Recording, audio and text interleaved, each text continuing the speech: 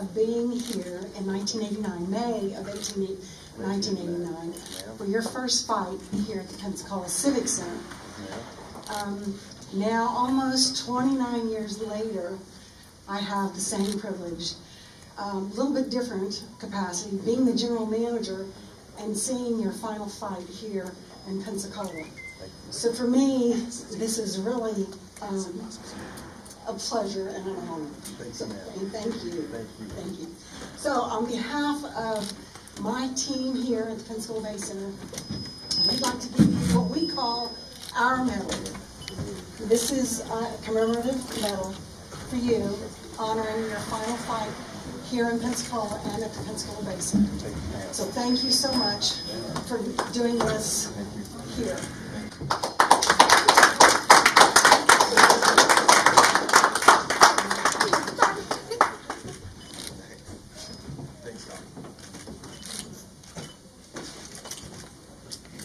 So we're really happy and excited about this. We hope it'll be the future of a lot of good things to come. But I'd like Dean to say a few words because it's his birthday.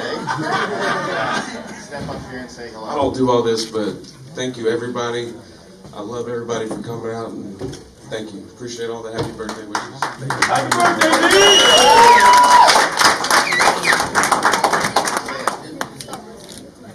The other guy that uh, also is part of our team, a guy that I met more than 10 years ago now.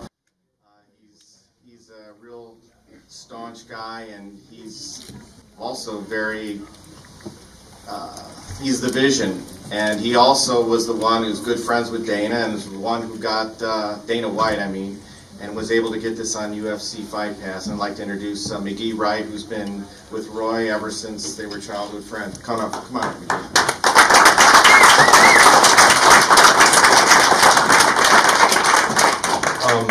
Thank everyone for coming out. Um, the press, I mean, it's um, just delightful to see all you guys come out and uh, honor Roy for his last fight. Um, and Scott, thanks for um, taking the fight. And uh, kind of a funny story when we started talking about doing this fight. I mean, I don't even know how he knew as fast as I did. He's calling me, texting me like, hey. And um, so we, I mean, um, you see me tough as hell. So I appreciate you coming out, man. And uh, giving it all you got, and um, it's, it's just an honor to have you on our card. And uh, we worked with him, you know, in the past, and uh, we'll work with some more in the future.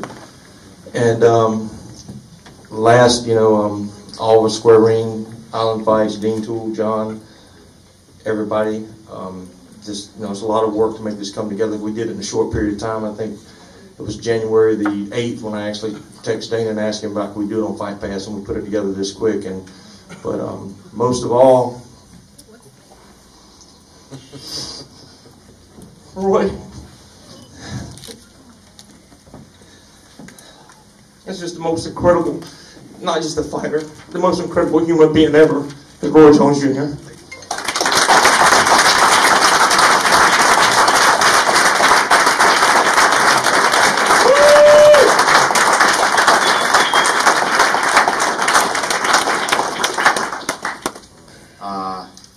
I was with Don King for 15 years, and we were doing lots of Roy's fights back in the day. And uh, I through met McGee, and and we decided. I decided I was going to leave Don, and I figured.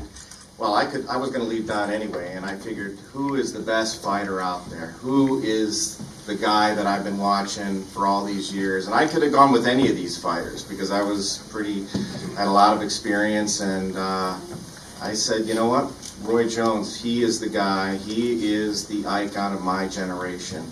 And so it's been a privilege and an honor for me to be involved with him. And we're still involved. We still have Square Ring, and we're going to keep working together for a lot of future things to come. But uh, it's been a real honor and a pleasure working with you, Roy, and love you, man.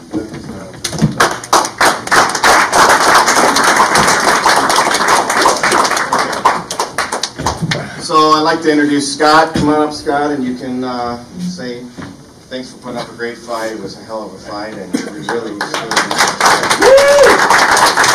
yeah, this was um, you know a dream come true for me. Um, last year, a fight fell out on Roy's card on the undercard when he fought uh, uh, Bobby Gunn, and I helped match Ikram at the last second. He told me if I ever needed a favor, um, let him know. I asked him if he had any more of them shoes left. He said he didn't. I said maybe he can come down to light heavyweight and fight me. He said he was, you know, never making light heavyweight again. I seen him put the post up. You know, decided to gain 20 pounds and get to get in the ring with Roy Jones Jr. Boy, I really appreciate you, man. I, something I'll never forget. Thank you so much.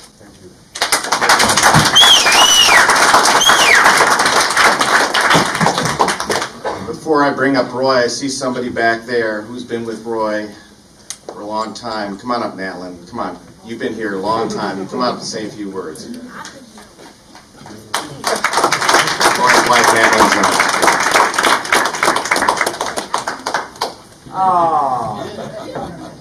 Um, normally I don't talk. It's um, been a long road, over 20 years, and I'm extremely proud of you. And I'm glad um, he did it his way, like Frank Sinatra. So I feel like um, you've done everything, you've accomplished so much, and there's nothing else for you to prove. So I'm just happy for you. Great performance, great night. We started in Pensacola, we ended in Pensacola. There it is. Picola in the house.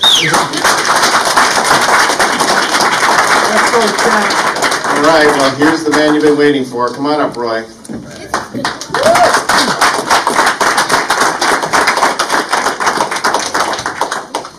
Um, As I make this short and quick, um, I just want to say thank you to everybody that ever had anything to do with my career, good, bad, and ugly, and indifferent. I don't really care what it was. We all came through hard times. Everybody, um, there, there are ups, there are downs, and it's like it doesn't matter about the ups and downs. How we finish the race.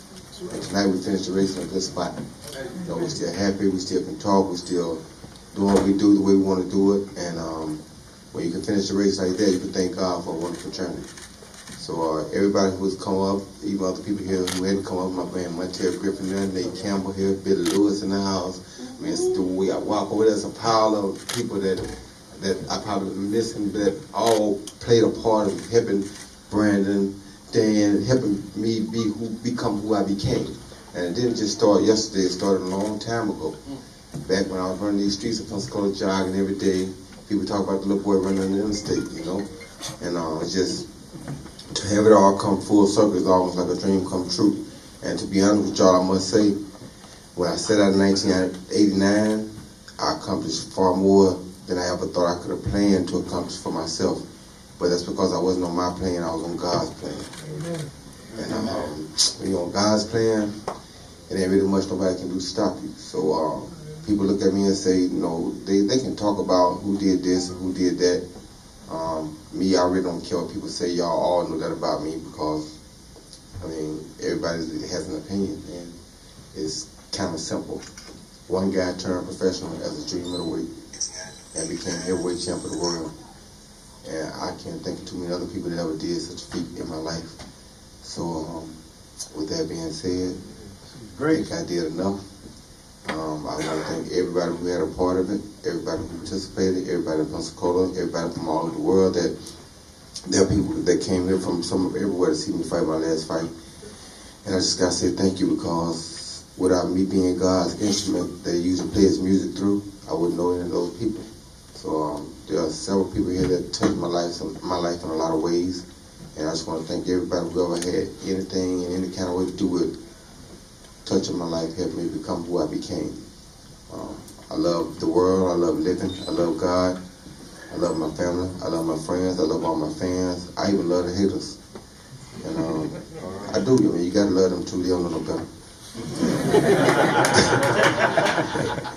but um, one thing I gotta say, and Scott, you a tough, you a tough, you a tough dude. Thank You understand me? I knew you wanted to fight me for a reason. I see why now. You put pretty tough. I would have came in there slipping. You might have got lucky, but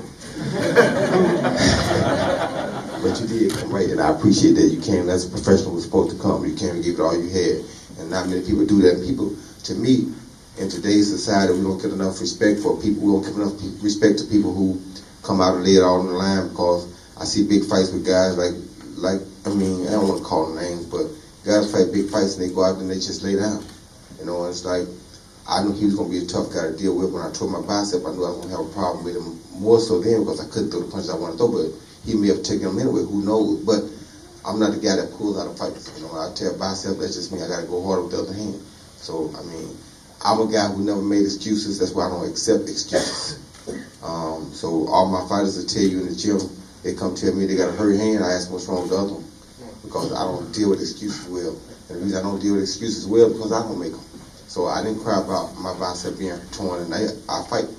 I couldn't spar the last two weeks, but it's what it is. What I do for a living. So I have never ducked and dodged nothing. Don't lie. When the fight with stitches in my eye before, I did it all. So I just am glad to say that when I close my book, which is tonight, they know I played King of the Hill. Whoever came my way, I took it. Even when people told me I shouldn't take it, I still took it. And just like tonight, I went out the same way I came in. Injured and all. If I say I'm going to fight, guess what? I'm going to fight. Yeah, you did that with mama. exactly, exactly. there you go right there. See my team right there? You take a picture of me, you and Nate. of course I can. Of course I can. Right there. That's my Hey, come on, right there.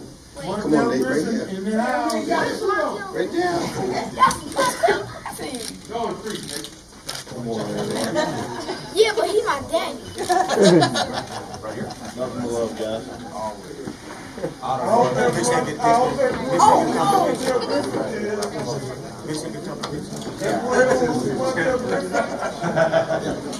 So as you see, RJ, tell me who's going to do it. uh, Montel Griffin, Montel Griffin was the guy that disqualified me against and gave me my first loss as a professional. Yeah, I respect that. And and the thing about that is, it still don't matter. It's like I was able to touch his life because he became light heavyweight champion of the world because he came involved with me. So it was a not the best incident, but it still happened. And you don't, you know, I don't hold nothing against nobody. It wasn't his fault. He didn't make the call. The commissioner made the call. You, you, Montel Griffin name always gonna mean something because of him. Thank you, brother. Whenever you say Roy Jones Jr., Montel Griffin gonna mean something. Yeah. And, I, and I got mad respect for that. I love him. Hey, look, I look up to him. He don't even, he don't even remember. 1991 National Golden Gloves. I got robbed against Jeremy Williams. I talked to him. He said, "Bro, don't worry about it. Keep going strong." He said, "You see what happened to me in '88? Keep going strong." And we did it. We played. He don't even remember. We, I stuck him in the game. No, I don't believe that. no, I'm saying. Oh. I ain't say I stopped. I Oh, said I we just played you this Oh. I thought you No, I said we played this together. Come on, stop with the ego, Oh, chap. no, I'm just saying.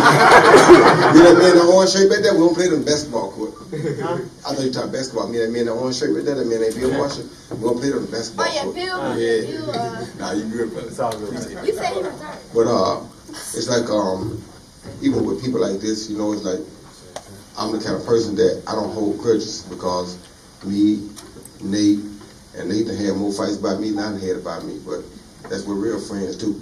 And when you got true friends like that, Bill Marshall and Bill been friends since eighth grade. You know, it's like I don't really change much. You know, just I am who I am. That's why I stay right here in Pensacola because I know who I know. I know where to go to get whatever I need from. I know everything going on. So it's like everybody knows everybody. And that's what a close-knit community is supposed to be about. When everybody knows everybody, everybody know who they can depend on, who they can't depend on, where to go, where not to go. It's just a beautiful thing. So I wish we would get back more to being like we used to be, when life was about fun and basketball, everybody getting along and dancing against one another and having great times instead of people just around killing each other now. So society is taking a change, and we do it to ourselves because we start making these laws that cause us to do different things. It's just it's just crazy society, but you know, we're gonna do what we can to try to keep it as best we can keep it, try to make the most progress we can. And I just want to say I thank God for allowing me to make so many people be able to come together and enjoy themselves, no matter what color, what race, what gender we are. We all enjoy one another when we had a Roy Jones fight, right? Fight to be able to be Pound for pound.